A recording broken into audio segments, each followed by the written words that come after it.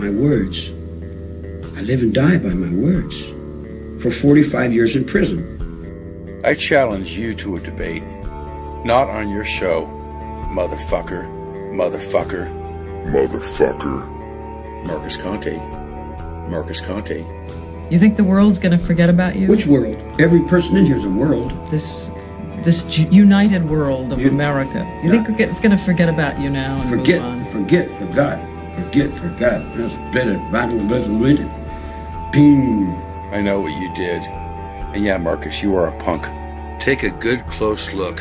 Fake hat, fake teeth, fake wig, motherfucker.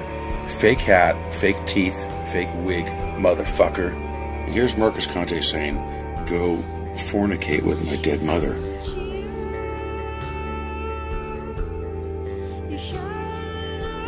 Motherfucker. I keep a close watch on this heart of mine. I'm What are sorry. you trying to do? Yeah, I'm, I'm trying to locate uh, a an employee there. His name is Daniel Cromer. I don't have his. Uh, I don't have Oh, his. he hasn't worked here for over mm, a year. about a year. Oh boy. Yeah. Do, you, do you have a forwarding number? Maybe where I could get him. Have a good day. Motherfucker.